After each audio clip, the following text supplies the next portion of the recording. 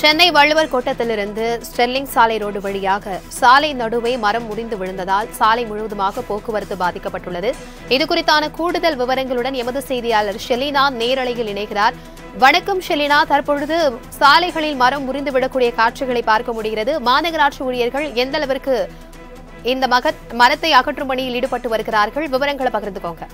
வடகிழக்கு பருவமழை தொடங்கியதற்கு பின்னராக தமிழகத்தில் தமிழகத்தை ஒட்டியிருக்கக்கூடிய வட மாவட்டங்களை பொறுத்தவரையிலும் தற்பொழுது போது பொது புதிய புயல் என்பது உருவாகி இருக்கக்கூடிய நிலையில் இந்த புதிய புயல் காரணமாக தொடர்ச்சியாகவே மழை என்பது கொட்டி தீர்த்து வருகிறது.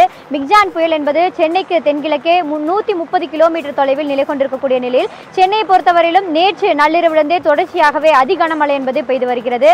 இன்று காலை பெய்த அதிகாலைமின் காரணமாக சென்னையை பொறுத்தவரையிலும் பதினைந்து இடங்களில் மொத்தமாக மரங்கள் என்பது விழுந்திருக்கிறது. மரங்கள் விழுந்திருக்கக்கூடிய இடங்களுக்கு நேரடியாக சென்று மாநகராட்சி பணியாளர்கள் அதே போல வந்து காவல்துறையினர்கள் என அனைவரும் வந்து பணியாற்றி வருகிறார்கள். மொத்தமாக பதினைந்து மரங்களையும் உடனடியாக அகற்றும் பணியில் தொடர்ச்சியாக ஈடுபட்டு வரக்கூடிய நிலையில் சென்னை நுங்கம்பாக்கத்தில் இருக்கக்கூடிய ஸ்டெர்லிங் சாலை அதாவது வள்ளூர்கோட்டத்திலிருந்து ஸ்டெர்லிங் சாலை செல்லக்கூடிய இந்த நெடுஞ்சாலையை பொறுத்தவரையிலும் இருபது அடி கொண்ட மரம் என்பது வேரோடு சாய்ந்திருக்கிறது. பலத்த காற்றுடன் கூடிய கனமழை பெய்து வந்ததன் காரணமாக மரம் என்பது பல்வேறு இடங்களில் விழுந்திருந்தாலும் கூட இந்த சாலையில் மரம் விழுந்ததை ஒட்டி இங்கே இருக்கக்கூடிய இந்த வழி முழுவதுமாக போக்குவரத்திற்கு பாதிப்பு ஏற்படும் வகையில் தடை என்பது செய்யப்பட்டிருக்கிறது.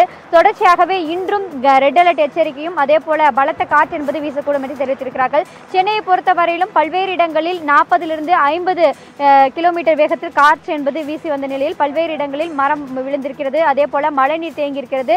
சென்னையை பொறுத்தவரையிலும் குடியிருப்பு பகுதிகளுக்குள் மே- மேற்கு மாம்பலம் கே கே நகர் உள்ளிட்ட பல்வேறு இடங்களில் மழைநீர் என்பது குடியிருப்புகள் புகுந்திருக்கிறது. அடுத்து வரக்கூடிய இரண்டு நாட்களை பொறுத்தவரையிலும் சென்னையில் கனமழை வந்து மிக கனமழைக்கு வாய்ப்பு இருப்பதாக தெரிவித்திருக்கக்கூடிய நிலையில் பல்வேறு துறைகள் இணைந்து தொடர்ச்சியாக பணியாற்றி வரக்கூடிய நிலையில் சென்னையில் இருக்கக்கூடிய பதினைந்து மரங்களையும் உடனடியாக அகற்ற வேண்டும் என்பதற்காக மாநகராட்சி அதிகாரிகள் தொடர்ச்சியாக ஈடுபட்டு வருகிறார்கள். அதே போல காவல்துறையினரும் ஒத்துழைப்பு என்பது கொடுக்கப்பட்டிருக்கிறார்கள்.